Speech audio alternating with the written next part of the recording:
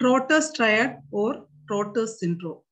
It's a triad of symptoms associated with nasopharyngeal carcinoma. It includes ipsilateral conductive hearing loss due to eustachian tube blockage, ipsilateral facial pain due to involvement of the mandibular division of trigeminal nerve, and ipsilateral palatal palsy due to involvement of the vagus nerve. Thank you.